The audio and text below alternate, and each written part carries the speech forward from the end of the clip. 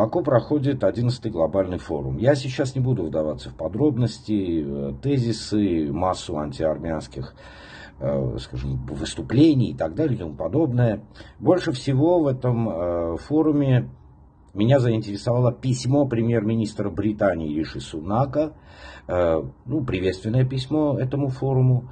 Да-да, той самой Британии, которая вдруг решила защищать Армению от русских. Так вот, Риши Сунак э, в письме говорит следующее, что надеется на то, что э, будет подписан наконец-то мир, мирный договор между Арменией и Азербайджаном и указывает на срок в ноябре месяце.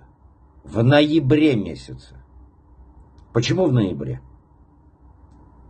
Почему уже озвучиваются сроки? Почему это не декабрь, не август, не июль, а именно ноябрь? Некоторые аналитики это напрямую связывают с президентскими выборами в США, но я думаю, все намного проще. Когда моделируешь ситуацию, получается следующее, что вероятно, я не утверждаю, что это так, но скорее всего нам дан срок. Вернее, не нам, а армянской власти. Да, срок выправить Конституцию согласно ультиматуму, который выставил турецко-азербайджанский тандем, и о котором на том же форуме говорил Йылдырым, глава старейшин Организации тюркских государств. То есть у нас получается ситуация, что уже установлен дедлайн. Ноябрь.